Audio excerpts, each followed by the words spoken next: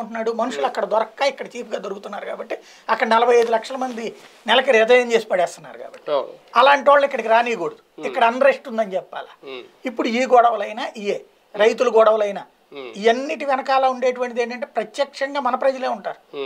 వాళ్ళకి మోటివేట్ చేసేది ఎవరు రెచ్చగొట్టేది ఎవరు తప్పుడు మార్గంలో పయనింప చేసేది ఎవరు. ఇంకోటి సంస్కరణలు. సంస్కరణే చేయకపోతే నువ్వు దేశం ఎట్ట నడుస్తుంది? ప్రైవేట్ కంపెనీ లేకపోతే వాళ్ళ రోజు నీకు లక్ష రూపాయల జీతం నడిచేదే. లక్ష రెండు లక్షలు మూడు లక్షలు ఐదు లక్షల జీతం తీసుకున్నావు కదా. నీ బిడ్డ వాళ్ళ కోటి రూపాయల జీతం తీసుకుంటే ఆ సంస్కరణ వద్దని నిన్ను నీ చేత ఉద్యమం చేయించారు ఆ రోజుల్లో. ఇవాళ నీ బా ఏడాదికి మా అమ్మాయికి కోటి రూపాయల ప్యాకేజ్ అండి. యాభై లక్షల ప్యాకేజ్ అండి అని గర్వంగా చెప్పుకుంటున్నారు. మరి అదే లేకపోతే ఎట్టుండేది? అది మార్పు.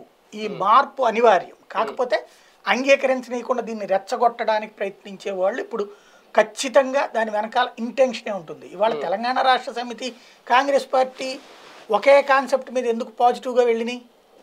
అక్కడ పొలిటికల్ మోటివేటెడ్ మిగతా చోట్లన్నీ జరిగిన తర్వాత ఒక రోజు గ్యాప్ తర్వాత ఎక్కడ ఎందుకు జరిగింది. అది కూడా దాంట్లో లూటీ ఎట్ట జరిగింది. పోలీస్ డిపార్ట్మెంట్ ఏం చేస్తుంది అక్కడ. అంత పక్కాగా. ఇంకోటి చనిపోయిన అతనికి పాతిక లక్షల రూపాయలు ప్రకటించారు. మొన్ననే అదే ఖమ్మం జిల్లాలో చనిపోయినటువంటి అబ్బాయికి ఏమైనా ప్రకటించారా. మొన్న మైనర్ గాడికి సంబంధించి ఏమైనా జరిగిందా? లేదు. అంటే ఏంటి అక్కడ? Political motivated. ఈ విపక్షాలు అనేటువంటిది మొట్టమొదటిసారి ప్రశాంత్ కిషోర్ మార్క్ ఆఫ్ యాటిట్యూడ్కి వెళ్తున్నాయి.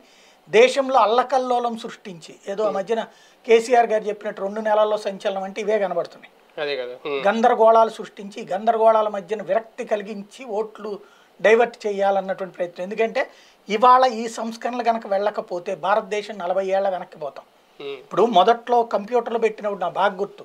మేము ఇంకా స్కూళ్ళల్లో చదివే రోజుల్లో ఈ కంప్యూటర్ సిస్టమ్ ఏది రాజీవ్ గాంధీ టైంలో పెడతానన్నప్పుడు పెద్ద ఎత్తున ఆందోళన జరిగినాయి. బ్యాంకులు ఆపేసేవాళ్ళు రోడ్ల మీద ధర్నాలు చేసేవాళ్ళు. మీ బతుకులు అయిపోతాయి అబ్బాయి అని చిన్నపిల్లలు మా దగ్గరకు వచ్చి చెప్పేవాళ్ళు. ఏంటి అంటే కంప్యూటర్ అంటే ఒక కంప్యూటర్ పాతిక మంది పనిచేసేసుద్ది ఇంకా మన బ- మీకు